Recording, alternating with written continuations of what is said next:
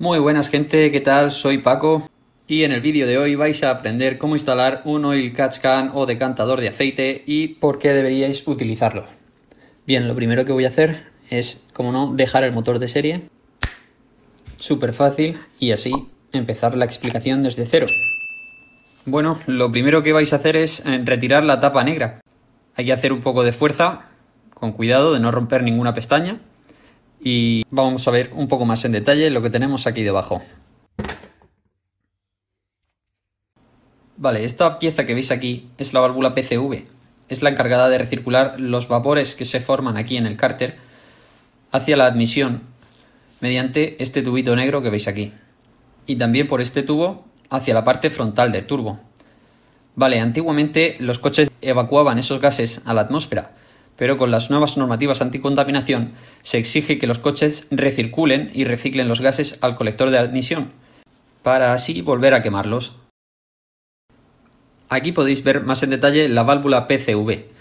Esta válvula tiene una serie de circuitos por dentro por los que recoge el gas del aceite y lo envía de nuevo al colector de admisión, mediante la acción de un diafragma, este de aquí que actúa cuando el motor se encuentra en situación de poca carga y manda los gases directamente al colector. Por cierto, tengo un vídeo en el que enseño cómo cambiar esta válvula. Lo dejo por aquí arriba.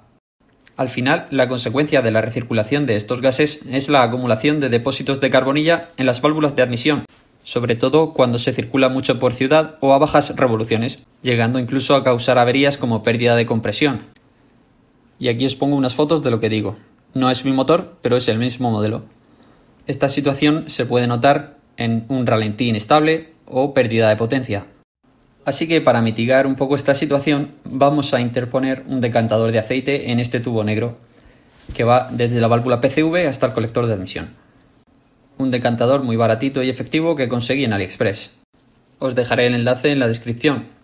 Una vez lo tengamos, tenemos que buscarle un buen lugar para colocarlo, con su soporte y además tenemos que buscarnos unos tubos a medida para sustituir el tubo negro que trae de serie. Ahora os enseñaré los que yo conseguí. Estos son unos tubos de silicona automotriz que conseguí por Amazon. Son de un diámetro exterior de 28 milímetros y tenemos un diámetro interior de 17. Fue la medida más cercana que encontré para este decantador de aceite, cuyas salidas son de 16 milímetros y como veis tuve que ponerle un suplemento para que la goma acoplara un poco mejor. Para fijar el decantador he utilizado unos tornillos roscachapa y los he colocado en esta parte del chasis, haciéndolo coincidir con los agujerillos que trae el soporte del decantador. Ahora os voy a enseñar cómo está el decantador de aceite tras unos 10.000 kilómetros desde el último vaciado.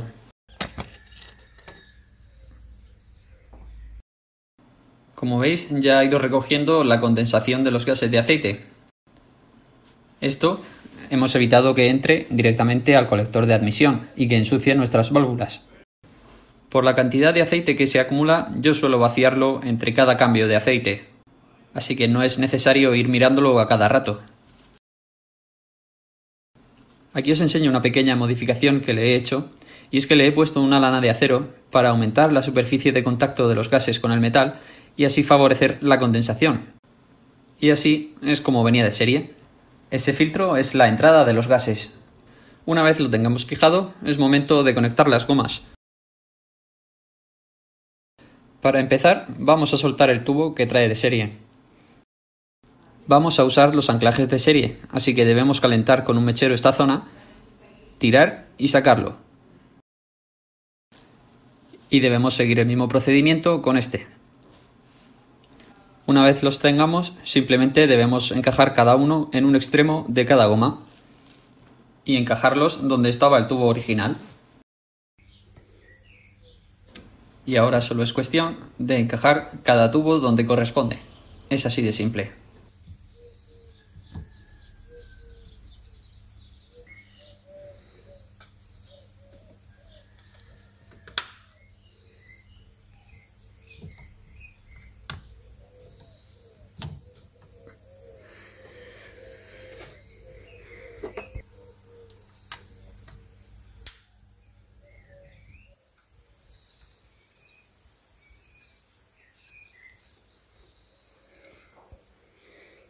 Le damos un buen apretoncillo a las abrazaderas y además colocamos una brida para darle cierta fijación al tubo, sin apretar demasiado.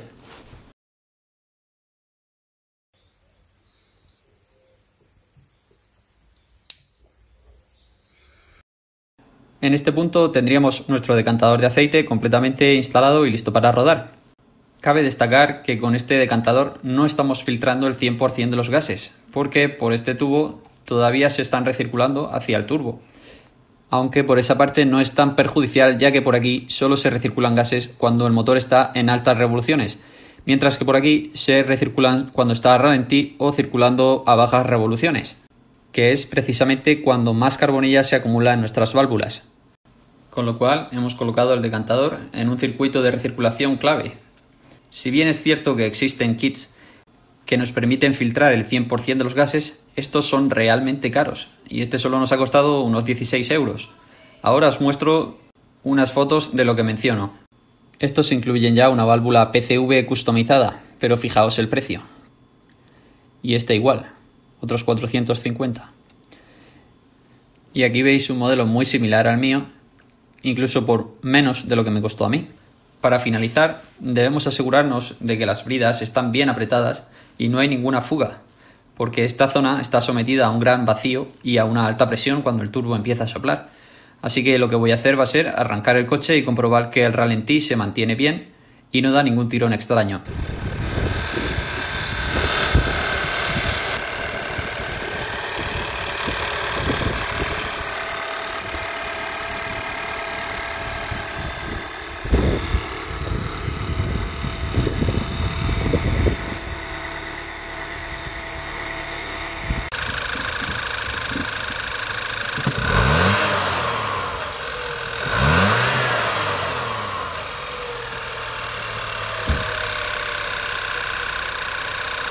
Estos clics tan fuertes que escucháis son los inyectores, ya que es un coche de inyección directa y funciona con una bomba de alta presión, lo cual hace un sonido poco atractivo con el capó levantado.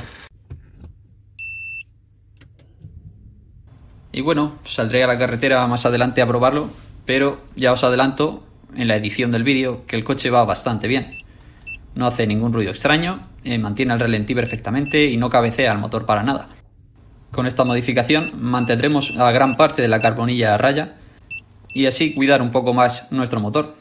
Espero que os haya gustado el vídeo y con el kit instalado me despido. Un saludo.